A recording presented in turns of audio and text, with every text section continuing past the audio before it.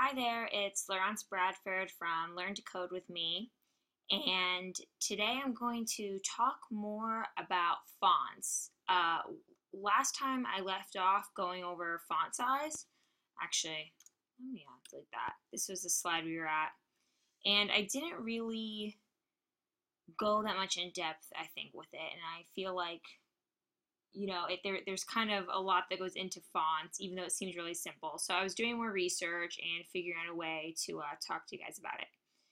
Okay, so the four main ones are pixels, EMs, REMs, and percentages.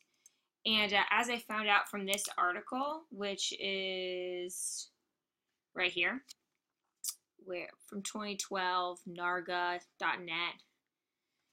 uh, there's actually 16 different ones apparently, and some of them are things like uh, centimeters or inches, things that we use for like normal measurement.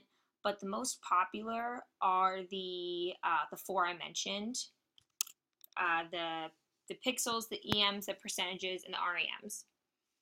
Okay, so a pic a pixel is an absolute value or an absolute length, meaning when you you like um define it, it's going to stay that size no matter how big the screen is.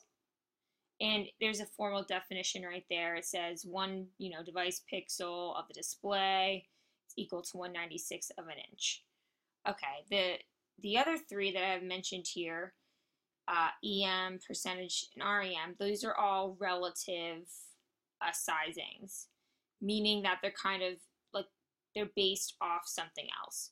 So an EM is based off the font size of the parent element. So a good example would be in a list. So say if there you had a, a list, we talked about these with the UL and the LIs, and then within the list you added another list. The second list that you add would inherit the font um, sizing from the, the upper part of the list. And this can cause this effect called compounding, which means that so the more and more nesting that you do, the fonts get smaller and smaller, and then maybe you know you wouldn't be able to read some of them, and sometimes maybe you want the font to get smaller with the other list, but other times maybe you don't. So that's one of the problems. Uh, percentages are really similar to uh, EMs. They're they're relative. They also have this problem of compounding where when you start to nest different elements, the font sizes can get a little funky. And when you, okay, so I didn't talk about the math, but say if, uh, okay, so say if you have your paragraph font set at 12 pixels, okay? And then you set an H1 I apologize, not the um, paragraph, the body, set to 12 pixels, and then you set the H1 to 2 EM. The font size would then become 24 pixels, so it would multiply by 2. And the percentages, I'm not sure the, I forget the exact math with that, but it's a similar way where if you set the, you know, the paragraph or the body font size by 12 pixels, and then you do, you know, the H1 by 200%, the H2 by 175, and the H3 by 150. They're all going to get their like exact values based off the initial um, font size in the body. Okay, so then there are REMs, which are relatively newer, and it's called the font size of the root element. So what makes it different from EM is that it doesn't take its um, its sizing from the parent element. Instead, it goes to the root so that would be HTML in this case. So this is actually good because this doesn't create that compounding effect and it's easy to uh, set this up to make the to make the, uh, the the page scale when you make the, the, the page smaller. So for different kinds of devices like tablet and mobile, you have different sizing. Okay, so again, I kind of mentioned some of this here, or I mean on the last slide. I have this link though I want to go to that I found. It's a JFiddle uh, little code thing. So you can see, I hope you can see. I don't know if I can uh, make it a little bigger. I'll attach the link in the notes though.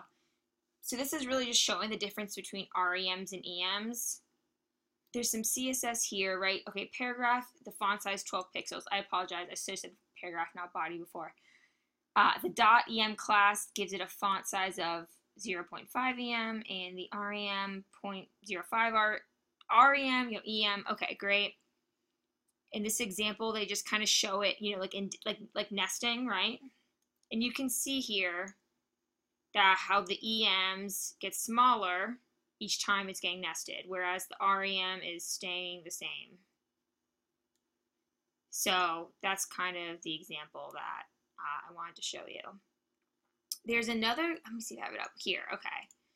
Uh, this is what I actually did with my site, and right now I'm redoing uh, my mom's site, in fact. Let me go down here. Uh, and I'm using the same method. I, I understand it in my head. I don't know if I can explain it that well, but this is from CSS Tricks. I mentioned this, I think, before. It's a really awesome site. And he kind of shares this idea of making the doc, of making like a, the website scalable. So you can see here, this would be where the REMs come to play. He sets these font sizes with the HTML, like the root element. And then he gives these classes like dot header, dot footer, dot sidebar, so that when you resize the the web page, depending on if you know it's in the footer class or if it's in the sidebar class, it'll resize that way. And then he also gives the what the the some of these uh, heading tags with the different he uses em values there. I'm i'm not really sure i'm not really sure why honestly. I was like why doesn't he use rem i, I wonder if he says it for some reason. He could mention it. Hold on actually i'm going to pause it because i want to find out now. Okay he actually mentions it right here he goes, so here's my idea. You still keep pixel size adjustments at the document level so you can make easy, efficient change it, so you can make size changes. Then each module on the page has a font size set in REM. Okay, that's like with like the sidebar and the header and etc. And then the actual text elements, H1, H2, whatever, if you size them at all, are sized in EM, and so then they become relative to the module. And he has this little drawing here honestly fonts I, I feel like it's for some reason it shouldn't be that complicated but it is. I guess because this is just this whole you know making things scale to the screen size. If everyone was on a computer that was the same size and we all the same you know we weren't on our phones or tablets or you know had huge monitors or small monitors it wouldn't matter as much. We could just use pixels but the sizing is just what comes into play. This is a good picture though. I like this again, I think this is a bit more advanced. I have you here. I can, this is a site I'm actually oops, building for my mom. Here. Oh, I'll there's nothing really important on it, but let me just kind of show you. All right, let me, uh, I think the, actually the whole thing. Okay, so I'll make the screen size smaller. This isn't, it's not done. But see how the, the paragraph text gets smaller in size? That's because I set it up with the with the with with the REM and EMs and the and the modules. And you can definitely see with the footer, right? Like look how big it is there and then ooh, look how small the footer gets when it's when it's mobile. Anyway, just showing some scaling. Okay, let me all right, I'm actually already at about 10 minutes. I keep I keep having to I keep thinking I'm going to get further than I am, which is kind of scary because I, I keep talking so long about this stuff. But next, I'm going to start talking about some new things like the shorthand way to write CSS and then incorporating the CSS files into your document. This was just a little extra video because I felt like fonts are confusing and I wanted to explain it better. Okay, have a good one, and I'll be doing another video hopefully tomorrow. Okay, bye.